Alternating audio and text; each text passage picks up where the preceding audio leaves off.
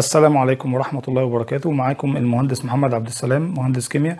آه، أنا حصلت على البكالوريوس هندسة كيميائية في 2011 من جامعة اسكندرية وحصلت على ماجستير في الهندسة الكيميائية في ال mathematical modeling and simulation في 2017 إن شاء الله بإذن الله في الفيديو ده وفي الفيديوهات القادمة هنبدأ نتكلم how to design ال chemical equipment اللي موجودة في ال في ال industry عندنا.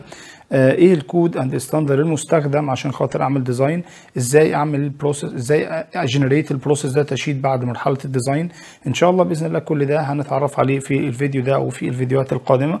إحنا عندنا different chemical equipment موجود عندنا pumps compressor heat exchanger separators distillation column valves piping pipelines كل ده هنعرف إزاي how to design ال chemical equipment دي وإزاي أستخدم ال code and standard اللي أنا لازم ا fulfill ال code and standard وإزاي أ generate ال process data sheet وكل ده هناخد عليهم examples فأول حاجة هنتكلم عليها النهارده هو ال separators آه ال separators النقط اللي إحنا هنتكلم فيها وإحنا بنشرح ال separators ال introduction هندي introduction سريعة عن ال separators.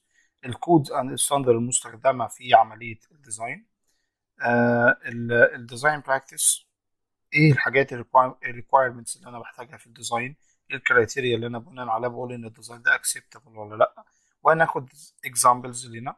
وبعد بعد ال design المفروض أنا ال document ال deliverable المفروض أنا بسلمها بعد ال design وهو الايه ال process data sheet فالنهاردة بإذن الله هنبدأ في هنبدأ عن ال introduction ال introduction ده هناخد فيها يعني نقط بسيطة كده. ناخد فيها أول حاجة إيه ال function of separators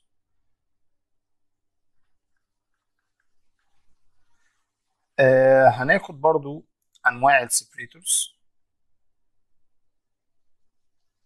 هناخد ال separation mechanism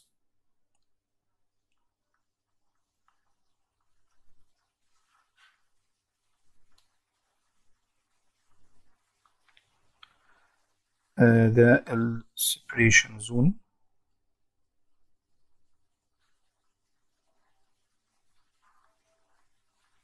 وبعد كده هناخد ال internals اللي موجودة داخل الايه داخل ال separators جميل. آه مبدئيا كده هنبدأ بال function هنبدأ بال function بتاع ال separator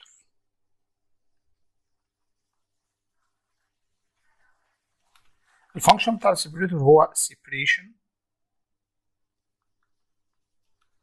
of gas from liquids. Liquid. آه وهنا بعد ال functions دي إحنا إحنا حابين بقى نعرف بناء على ال functions دي أنا أقدر أقسم ال separators لإيه؟ أقسم ال separators على حسب ال function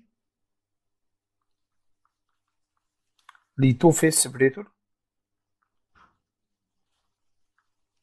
وال two phase separator أنا بفصل فيها gas from liquid. وال function هنا هتبقى إيه؟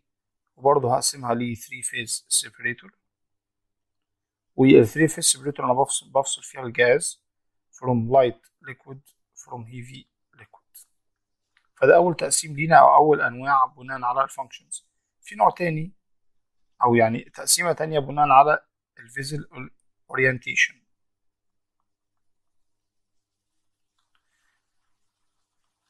ال vessel orientation هسميها vertical separator أو إيه؟ أو horizontal separator. جميل. يبقى إحنا هنا ال types بتاع ال separators بناء على ال function بقسمها إما 2 phase separator أو 3 phase separator وبناء على ال vessel على ال orientation نفسه إما ال vessel ده vertical vessel أو إيه؟ أو horizontal vessel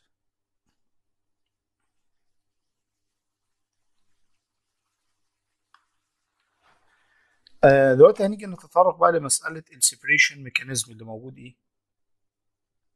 اللي موجود في ال separator ال separation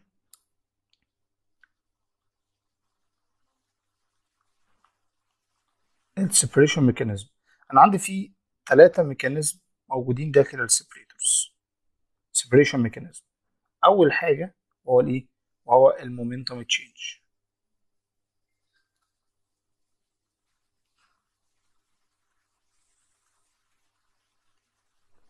ال momentum change ده نتيجة ال change في ال direction of the flow ده ال momentum change عشان أحقق ال separation method ده هحتاج إيه؟ هحتاج inlet device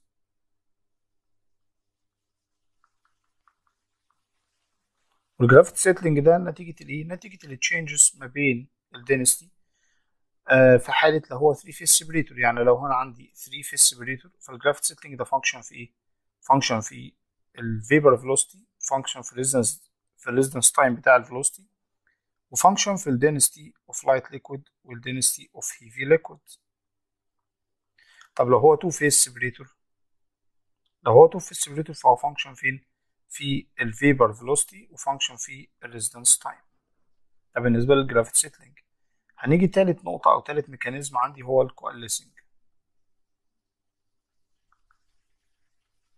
ال coalescing الفكرة بتاعته انه بيحول لي ال small particles with a small diameter to large diameter.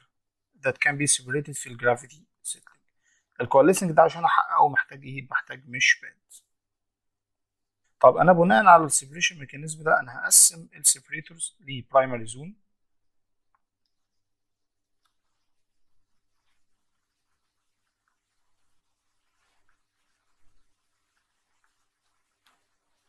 و secondary zone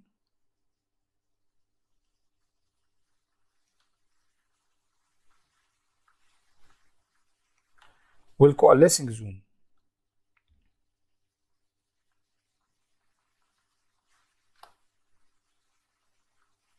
واضح من التسمية إن أنا عندي ال primary zone دي يبقى أنا عندي وال secondary zone دول أساسيين في أي separators يبقى بناء عليه أفهم من كده إن أي separators موجود لازم يكون فيه ال separation mechanism بال momentum change وال gravity settling طب أنا ال coalescing بعض ال separators ما بيبقاش فيها mesh pad وبعضهم بيبقى فيها mesh pad. جميل. آه دلوقتي إحنا هنيجي بقى نحاول نشوف نحط نرسم ال zones ده ونوزعها على ال separators عندي. عندي vertical separators. وده inlet ال pipeline هنا داخل أهو. هنا ده فيه two phase هنفترض إنه two phase وعندي ادي ال A وادي zone A وده zone B وده إيه؟ zone C وده ال vapor اللي خارج وال liquid اللي في ال bottom. طب في zone زيادة هي ملهاش دور كبير قوي في ال separations لكن واجب إن إحنا نقول هو الإيه؟ هو ال liquid surge طب أنا ال liquid surge ده وظيفته إيه معايا في ال separation وظيفته إنه أحيانا بيقوم بدور ال degassing ده بالنسبة لو vertical separator طب هنيجي لو horizontal separator ادي ال two phase في الداخل هنا اهو. أو ادي ال inlet device zone A ده ال device وده ال secondary zone اللي فيها ال gravity settling وده الايه zone C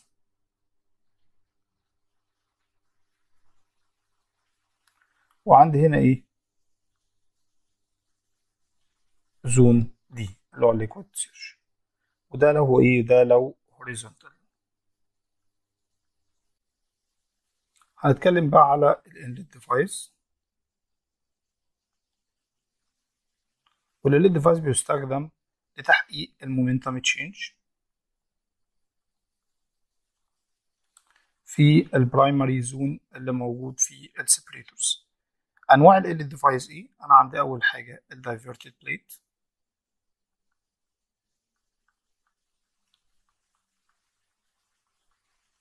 وده شكله ان أنا هاخد أنا ده cross section من ال من ال separators وده ال inlet pipeline ويبقى شكله عامل كده. ده ال diverted plate وفي عندي ال reversed pipe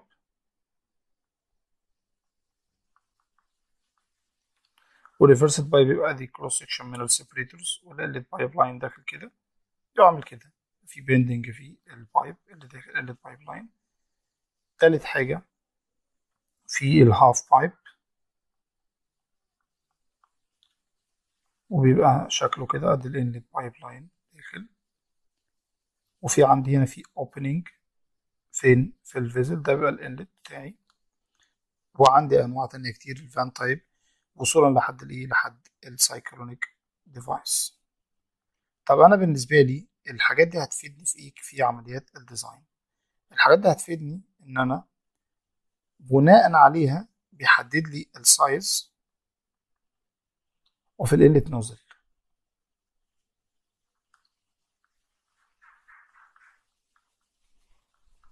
اللي هو أنا بالتحديد هتحدد لي هتحدد لي ال tangent to tangent length بتاع السبريتورز وفي نفس الوقت بتحدد لي ال flow regime اللي موجودة في ال pipeline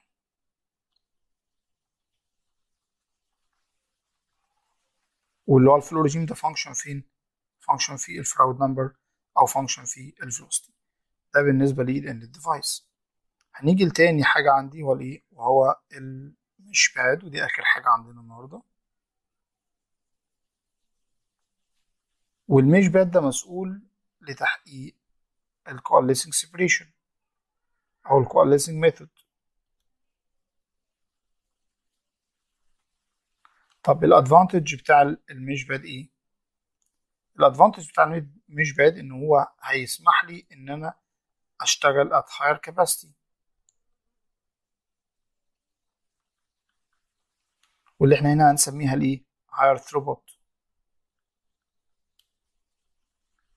طب إزاي هيسمح لي ان أنا اشتغل عند higher capacity أنا لما بستخدم ال mesh pad فال allowable vapor velocity اللي موجودة داخل ال vessel بتزيد.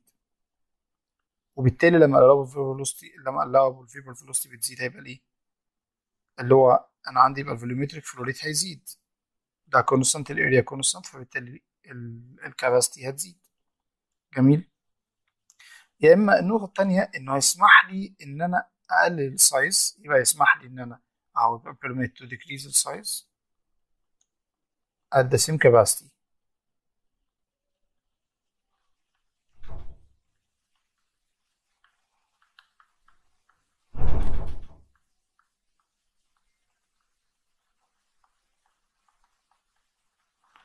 هنبدأ بقى نتناول ال disadvantage of المش باد ومن ال disadvantage of المش باد أنا عندي ال higher cost ودي بتشمل ال higher purchasing cost وال higher installation cost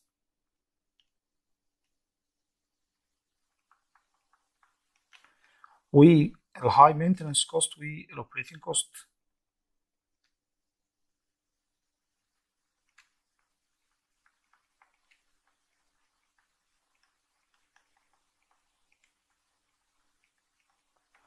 جميل طب ال high operating cost دي تهم يعني ناتجة من إيه؟